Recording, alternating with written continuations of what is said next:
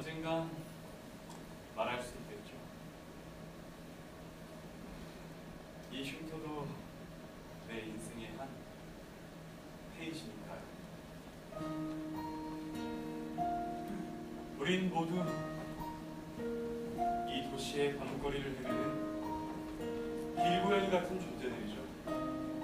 그래서 때론 춥고 아프지만 그래도 이 늦은 밤에 밥 한 그릇 나눌 수 있어서 values.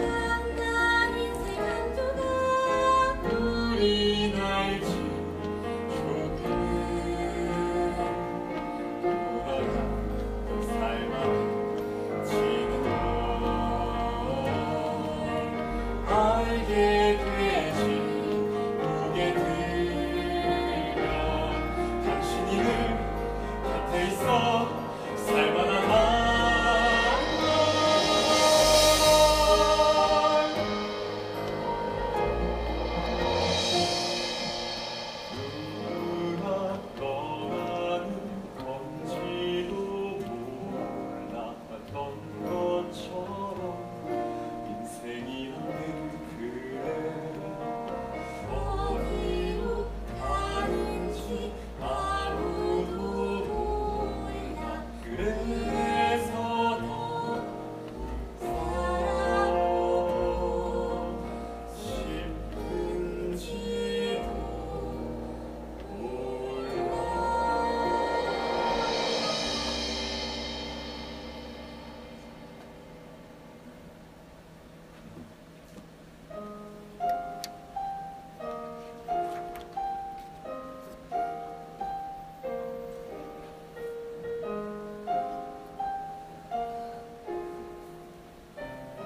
언제든